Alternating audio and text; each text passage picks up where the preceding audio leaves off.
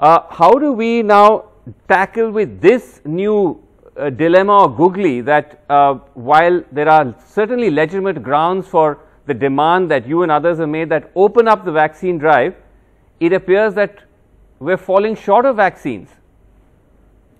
So first and foremost, um, you know, we must also understand that whilst we talk about this gap that you very rightly pointed to, there is also a lot of wastage because of, uh, you know, uh, vaccination centers not being able to exhaust the vaccines uh, which are deployed at their centers. Now that right. is absolutely criminal. We cannot afford it.